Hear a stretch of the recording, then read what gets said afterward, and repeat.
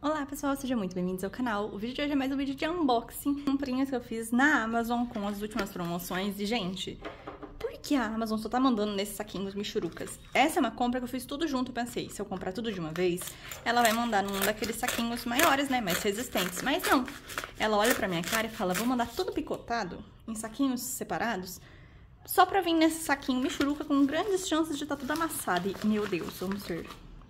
Ai, graças a Deus tá inteiro. Volume 14 de Real. Ah, tem outro volume. Chegou tudo repicado, né? Então, a primeira saquinho que chegou tava bem amassado, assim. Tava até molhado, meio úmido o saquinho. É porque tinha chovido no dia. Então, eu fiquei levemente preocupada de ter molhado o mangá. Então, eu abri, mas tava sequinho por dentro. Então, eu deixei guardado pra fazer esse unboxing, porque eu sabia que ia vir mais um volume de Real ainda. Então, aqui, volume 14. E aqui chegou o outro volume que é o volume 15, que por sorte chegou em boas condições, mas eu tava morrendo de medo, mas chegou bem certinho. Esse aqui, ele tá um pouquinho entortado, mas pelo menos ele não amassou nem nada. Eu adoro o Real, o Takehiko voltou a publicar, eu acho. Saiu um capítulo novo lá no Japão. Então, estou com altas expectativas que volte a lançar com frequência pra gente ter mais volumes, porque essa história é maravilhosa. Se você ainda não deu uma oportunidade para esse mangá, leia, porque assim, é fantástico, gente. Vocês não estão entendendo o que vocês estão perdendo em não ler Real. É muito bom, gente. Vocês têm que ler, que é fantástico. Mesmo que você não seja muito chegado em mangás de esporte, ele não é exatamente sobre o esporte, é mais sobre, tipo, dificuldades da vida, sabe? E aqui mais um volume. Ai, gente, esse é um que eu comprei num super desconto que teve na Amazon. Eu avisei vocês, sempre eu aviso na aba comunidade. Gente, tava, tipo, muito barato. Saiu, tipo, quase de graça, gente. É loucura. Ele já tava com, acho, 30% de desconto e somou com mais 30% ou 40% de desconto com o cupom que tinha. Então, assim, saiu absurdamente barato. E eu tô muito feliz de finalmente poder comprar mais uma obra do Inyo Asano. Eu só tenho Solanin dele, eu não coleciono Boa Noite Pum Pum porque assim, é uma obra mais pesada. Mas Heroes, eu vi que é tipo uma sátira a diversos tipos de mangás. E eu adoro o estilo dele, então eu tô muito curiosa para ler, muito ansiosa. Real eu já acompanhava por scan, então eu já leio, já sei o que tem nesses volumes. Mas Heroes foi um mangá que eu comprei assim, porque tava com desconto e porque eu confio muito no trabalho do Inu Asano, então assim, Confiei, fui lá e comprei mesmo. E por último, mas não menos importante, vamos ver se chegou em bom estado esse daqui. Esse saquinho é pior do que aqueles ali, porque aqueles ali é levemente mais firminho. Esse daqui é realmente assim, só Deus na causa para proteger esses mangás. Dois volumes maravilhosos de Nana. Finalmente eu consegui comprar o volume 2 e o volume 5. Eu tô comprando assim bem aos picados, conforme aparece desconto. Inclusive, eu tô gravando esse vídeo agora enquanto tá tendo a Book Friday. Eu avisei vocês sobre alguns descontos. E Nana Volume 1 apareceu por 18 reais, eu acho. Então eu saí correndo para comprar. Então eu já comprei o volume 1, tá vindo. Agora o volume 2. Eu já tenho o 3 e 4 aqui em casa. E o volume 5. Então, assim, é aos poucos, gente. Tem que ter paciência, comprar com desconto. Infelizmente, essa é uma obra que tá em reatos há, tipo, muitos anos. Então eu não tenho pressa para comprar. Eu já li por isso há muito tempo atrás. E tô aproveitando agora a reimpressão para poder ter os volumes de Nana na minha coleção, que sempre foi um sonho ter Nana na minha coleção. Se você ainda não viu, se eu não me engano, tá na Netflix, não tá? Eu tava reassistindo. É, tá na Netflix o anime de Nana. E é muito bom, gente. É absurdo.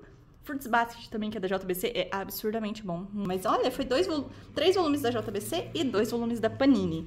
É, é bem importante vocês ficarem de olho que tanto Real como Slandunk, que também é do Takahiko, sempre aparecem com descontos lá na Amazon. Então fique de olho que aparece por, tipo assim, 15 reais. E é muito bom, porque esse volume, ó, tá por R$34,90. Eu acho que eu paguei, sei lá, 15, 16 reais. Pra mim, esse é o tipo de desconto que é bom. No mais de 10 reais de desconto é sempre ótimo, né? E assim, assim como Nana, é um volume que tá meio assim, é uma coleção que tá meio parada, né? O autor não lança novos volumes, então eu não sinto necessidade de correr com a edição. Mas apesar, é, por enquanto só tem 15 volumes, mas o volume 15 não fecha a minha coleção. Eu ainda tô com uns buracos no começo, porque eu sempre fico esperando desconto, né? Quando você paga 15 reais. Nossa, passando mil motos, gente. Mil perdões pelo barulho. Fim de semana sempre tem muito barulho de moto aqui no bairro. Mas enfim, quando você compra um volume da coleção por tipo 15, 16 reais, você vai querer comprar todos os volumes da coleção por esse preço. Você não consegue pagar o preço de capa. Eu sou inimiga do preço de capa, gente. Vamos ir atrás de promoção, porque promoção é o que mais tem, gente. Nossa amiga Amazon manda numa embalagem ruim? Sim, mas os preços delas são imbatíveis. Enfim, volume 14. Eu adoro as capas, eu acho maravilhoso. A lombada é simples, gente, mas faz parte, infelizmente. Inclusive, eu tô querendo muito comprar uns boxes de lombadas que é um cara que faz lá no Instagram, eu vou deixar o arroba dele, que eu já vi muita gente comprando box, assim, pra pôr os volumes, e aí fica com uma, como se fosse uma arte bonita na sua estante. Eu, eu sou apaixonada por esses boxes, eu gosto muito dessa estética bonita ficando na estante, bonitinho, então eu estou a um passo de comprar, eu só tenho que completar a coleção para aí sim ir pesquisar o preço para ver se eu compro ou não. Mas enfim, vou deixar o link na descrição porque eu acho muito interessante o trabalho dele. Apesar de nunca ter comprado, não tenho experiências próprias, mas conheço muita gente que já comprou com ele. Mas enfim, volume 14. Eu acho a edição de Real um espetáculo, a qualidade é muito boa, né? Tem aqui uma arte interna, página colorida sempre, eu gosto muito mesmo. Aqui a arte da parte do índice, mais uma página colorida, né? Essa mesma arte aqui, abrindo o capítulo 79. É muito bom, gente, sério. Mais uma página colorida. Não, esse volume é um espetáculo. Assim, eu acho uma coleção fantástica. A qualidade é absurda. Eu sou apaixonada por essa coleção. É muito bom mesmo, gente, sério. Olha isso. Eu adoro. Ele é um personagem que eu adoro acompanhar, de verdade. Sério, eu adoro ele, acho incrível. Tem página colorida aqui no meio, não tem? Cadê? Sempre, eu sempre luto pra achar, mas eu sei que tem no meio. Aqui. Aqui, no capítulo 82. Muito lindo a arte. Tá um pouco de transparência, né? Não sei se vocês conseguem ver, tá um pouquinho de transparência aqui na cara dele, mas nada muito, assim, absurdo. Slandan, que é uma coleção, assim, que sempre aparece com desconto, e é do Takahiko também. Mas os primeiros volumes têm uma qualidade muito ruim, gente, muito ruim mesmo. Tem gente que veio falar comigo e falou assim, já que eu acho que depois do volume 10 melhora. Mas sabe quando você desanima? Qualidade ruim me desanima. Ali tem um pouquinho de transparência, mas não é grande coisa. Mas em Slandunk, gente, é uma tristeza, sério. Não é no mesmo material de Real. E também é uma reimpressão. E assim, pra mim, na minha cabeça, reimpressão tem que vir numa qualidade melhor, né, do que a anterior. Corrigir os erros, não repetir os erros. Mas enfim, né? É complicado essa questão de qualidade, né, dos editores. Mas aqui vamos pro volume 15. Nossa senhora, tem que ser cuidadoso, né? Porque o mangá, qualquer coisa, amassa. É, foi barato, mas ainda assim é dinheiro, então a gente tem que tomar cuidado. Aqui, volume 15. Eu adoro as capas, como sempre. Parte de trás é sempre simples, né? Aqui a parte de trás, em compensação, é simples. R$34,90, que é um pouquinho caro, eu considero. Apesar que hoje em dia tá 40 reais, né? Então quem sou eu pra falar que 34 é caro? Saudades já. Aqui uma arte interna dos três. A abertura, nossa, que incrível, eu adoro. Eu acho os traços dele um negócio absurdo. Olha que lindo. Aqui a parte do índice. Aqui agora vai até o capítulo 90. Muito bom, eu adoro os traços dele. Aqui eles, volume, capítulo 85, abrindo o volume 15. Eu adoro essa história, gente. Olha, mais uma página colorida. Uma história, assim, que não é só sobre esporte, é sobre relacionamentos humanos, é, aprendendo com as dificuldades, lidando com as dificuldades, a vida não sendo exatamente como você sonhou. Então, assim, é uma obra muito incrível, muito incrível mesmo. Cadê? Passei a página colorida. Cadê? Eu adoro o jeito que ele mo mostra as emoções dos personagens. Nossa, ele é incrível. Nossa, que pessoa talentosa. Mas, enfim, aqui o capítulo 87, que é a mesma ilustração que tem aqui, né? Essa aqui capítulo 87, a primeira página colorida. Muito bom, gente. Muito bom mesmo. Muito bom mesmo, gente. Tem folha pouco, né? Porque é o último volume, né? Não sei se todo mundo... Às vezes tem pessoas que estão colecionando e ainda não viram muitos detalhes. Mas enfim, volume 14 e 15, eu tô muito feliz, gente. Ainda faltam alguns volumes, então espero em breve voltar com mais volumes de Real para completar minha coleção. Mas seguindo agora para Heroes, mesmo que eu não goste desse mangá, ele foi tão barato que eu já amo ele, sério. Eu amo volumes baratos, gente. E é um volume único, então é ótimo. Eu acho ótimo. Mas eu acho difícil não gostar desse volume. Eu acho o estilo do Inu Asano muito interessante. E eu só vi elogios dessa obra, então estou com altas expectativas para esse mangá. Eu adorei a arte da capa. A lombada é mais simples, mas eu gostei também. Ah, ali, ó, tem... É recomendado... Ah, é recomendado para maiores de 18 anos, gente. Olha, não sabia desse detalhe. Aqui, ó. Heroes apresenta violência gráfica e gatilhos para traumas psicológicos. Recomendado para maiores de 18 anos.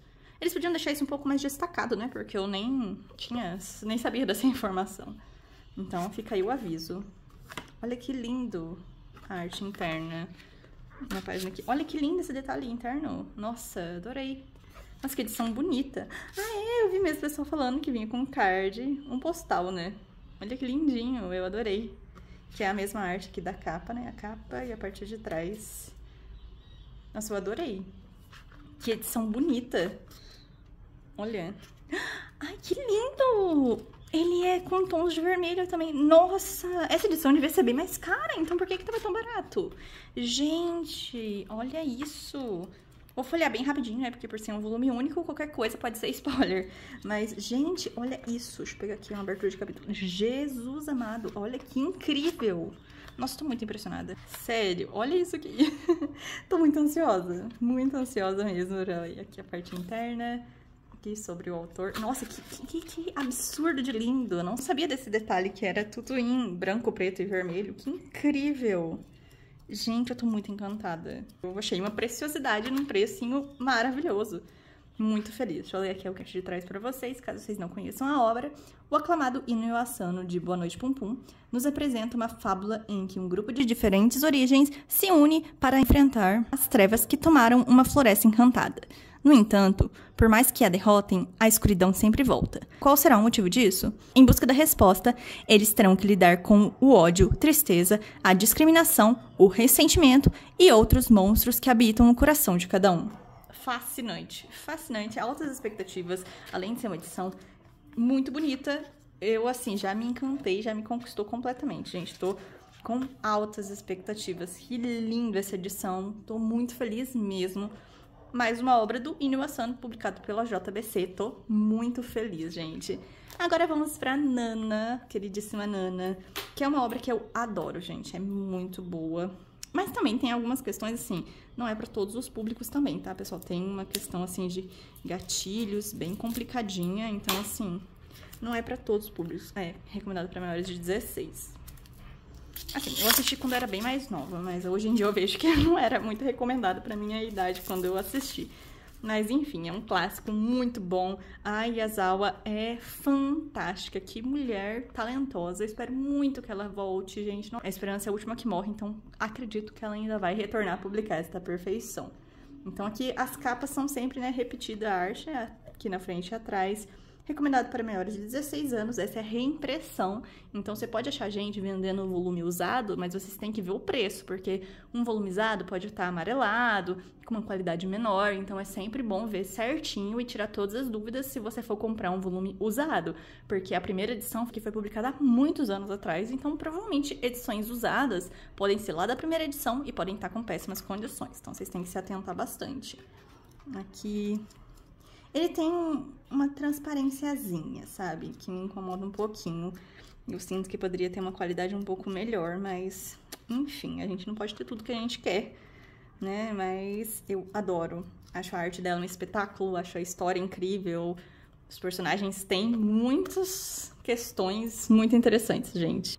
Ela cria personagens complexos, mas muito interessantes. Eu gosto do jeito que ela trabalha tudo isso.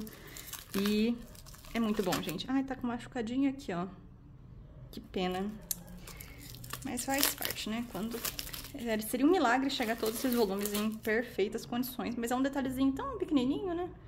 Que você não nota tanto. Mas podia ser na parte branca, né? Na parte azul chama mais atenção. Mas aqui, volume 5. E tá sempre assim, sempre aparece bons descontos. Então sai na faixa aí de uns 18, 19 reais, então vale a pena, gente. Fiquem de olho nas promoções para conseguir por um bom preço. Não tem página colorida nem nada, é uma edição bem simples. E é meio com transparências, né? Então, tem, assim, ó, é bem... Uma edição bem, bem simples mesmo, infelizmente. Os personagens masculinos são bem complexos. Ela gosta de dar raiva na gente. Nossa, quanta informação numa só página. Olha isso aqui, não parece que tá muito sobrecarregado de informações. Enfim. Bom, é uma obra que vale a pena quem já assistiu o anime aproveitar agora a reimpressão. E como eu disse, se você vai comprar uma edição usada, um volume usado, tem que prestar atenção para ter certeza que é um volume que está em boas condições, que não está amarelado, e ver o preço. Ver o preço que ele foi publicado na época, porque agora que está tendo reimpressão, não tem volume raro mais, né, gente? Então, tomem cuidado para não acabar, acabar pagando um valor acima do que o volume realmente representa, né? Mas enfim, Muito feliz de estar avançando com a minha coleção de Nana. Dois volumes lindíssimos da JBC, né? Heroes e Nana. Aqui, muito feliz. Nossa, Heroes é bem grande, olha aqui. Ele perto de Nana. Olha aqui. Nossa, ele veio com tipo uma manchinha, ou é da edição mesmo, não lembro. Mas olha, ele é bem maiorzinho que Nana, Heroes. E é um volume único, então achei muito interessante. Ele é maior que Real? Ele é maior. Olha aqui que edição bonita, gente. Nossa, nossa, valeu muito a pena essa compra. De verdade, eu tô muito feliz. Olha que lindo. Então aqui, Real, Heroes e Nana, minhas compras da vez. Cinco volumes maravilhosos. Deixe nos comentários se vocês conhecem essas obras, se vocês colecionam alguma delas. Recomendo as três, mesmo não tendo lido ainda Heroes. A edição tá belíssima e é do Inyo Asano, que sempre acerta. Ele é incrível. Bom, muito obrigada por assistirem o vídeo até o final. Se cuidem e até a próxima.